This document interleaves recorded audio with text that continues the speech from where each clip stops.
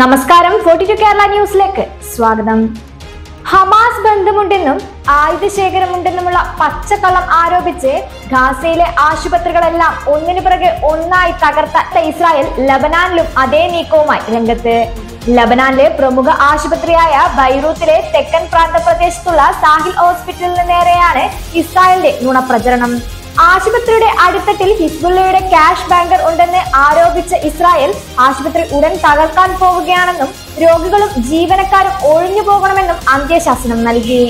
എന്നാൽ ഇസ്രായേൽ സൈന്യത്തിന്റെ ആരോപണം പച്ച നുണയാണെന്നും ആർക്കു വേണമെങ്കിലും ആശുപത്രിയിൽ എവിടെ കയറിയും യഥേഷ്ടം പരിശോധിച്ച് ഇക്കാര്യം ബോധ്യപ്പെടാമെന്നും ആശുപത്രി അധികൃതർ മാധ്യമങ്ങളോട് പറഞ്ഞു. ഇത് സ്വകാര്യ ആശുപത്രിയാണ്. ഞങ്ങൾ ആളുകളെ സഹായിക്കുന്ന സ്ഥാപനമാണ്. ആർക്കും പരിശോധിച്ച് ബോധ്യപ്പെടാം. എന്നാണ് ആശുപത്രി medical director doctor Walid Alame B B സിയോട് പറഞ്ഞത്.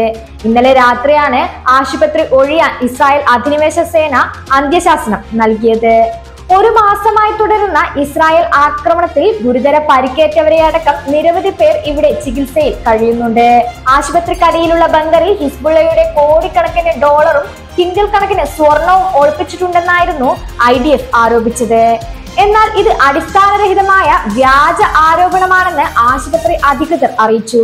ഇക്കാര്യം തെളിയിക്കാൻ തങ്ങളുടെ വാതിലുകൾ മാധ്യമങ്ങൾക്ക് മുന്നിൽ മലർക്കെ തുറന്നിട്ടിരിക്കുകയാണെന്നും എവിടെ കയറി ആർക്കും പരിശോധിക്കാമെന്നും ആശുപത്രി മാനേജ്മെന്റ് വ്യക്തമാക്കി.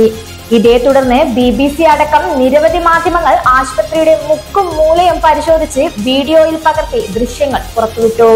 ലോകമെമ്പാടുമുള്ള എല്ലാ രാജ്യങ്ങളിലെയും ഏത് ആശുപത്രിയിലും കാണപ്പെടുന്ന സാധാരണ സാഹചര്യങ്ങൾ മാത്രമാണ് സാഹിൽ ആശുപത്രിയിൽ താൻ കണ്ടതെന്ന് യുദ്ധകാര്യ മാധ്യമ പ്രവർത്തകനായ സ്റ്റീവ് സ്വിനി ട്വീറ്റ് ചെയ്തു.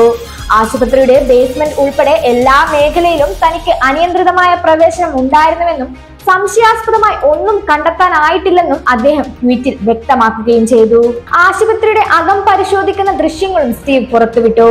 കോടിക്കണക്കിന് ഡോളറും സ്വർണവും ആശുപത്രിക്കടിയിൽ സൂക്ഷിച്ചിട്ടുണ്ടെന്ന് ഇസ്രായേൽ ആരോപിച്ചതിന് പിന്നാലെയാണ് അദ്ദേഹം ആശുപത്രിയിലെത്തിയത്. ആക്രമത്തെ ന്യായീകരിക്കാൻ ആശുപത്രിയെ ഹിസ്ബുല്ലയുമായി ബന്ധിപ്പിച്ച് പുകമറ സൃഷ്ടിക്കുകയാണെന്ന് സ്റ്റീവ് ചൂണ്ടിക്കാട്ടി. ഗാസയിലെ ആതുരാലയങ്ങൾ സംവിധാനങ്ങൾ തകർക്കാൻ പ്രയോഗിച്ച അതേ തന്ത്രമാണ് ഇസ്രായേൽ ലബനാനിലും പായിക്കുന്നതെന്ന് ആശുപത്രി ഡയറക്ടറും അഭിപ്രായപ്പെട്ടു.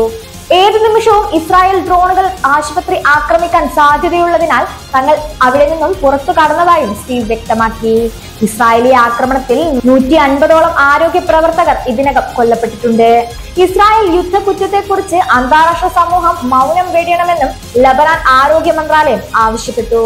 തിങ്കളാഴ്ച രാത്രി റഫീഖ് ഹരീരി ആശുപത്രിക്ക് സമീപം ഇസ്രായേൽ ബോംബ് ആക്രമണത്തിൽ ഒരു കുട്ടി ഉൾപ്പെടെ നാലു പേർ കൊല്ലപ്പെട്ടിരുന്നു.